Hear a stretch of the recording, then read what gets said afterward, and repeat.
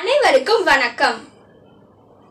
குரல் எண் நூற்றி ஐம்பத்தி நான்கு நிறையுடைய நீங்காமை வேண்டி பொருட்படைய போற்றி பொழுகுப்படும் இக்குறளின் பொருளை விளக்கமாக காணலாம் வாருங்கள்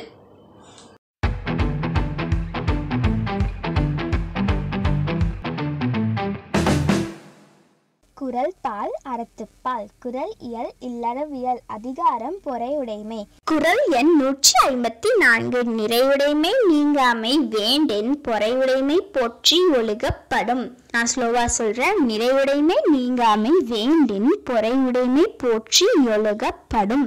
திருமுக அவர்களும் விளக்கம் நிறைய உடையவனாக இருக்கும் தன்னை தன்னை விட்டு விட்டு நீங்க நீங்காமல் இருக்க வேண்டுமானால் பொறுமையை போற்றி ஒழுக வேண்டும் திரு சாலமன் பாப்பையா அவர்களின் விளக்கம் சான்றாண்மை நம்மை விட்டு விலகக்கூடாது என விரும்பினால் பொறுமையை பின்பற்றி வாழ வேண்டும் திரு கலைஞர் அவர்களின் விளக்கம் பொறுமையுடன் உறைவிடமாக இருப்பவரை தான் நிறைவான மனிதர் என்று உலகம் புகழும் நன்றி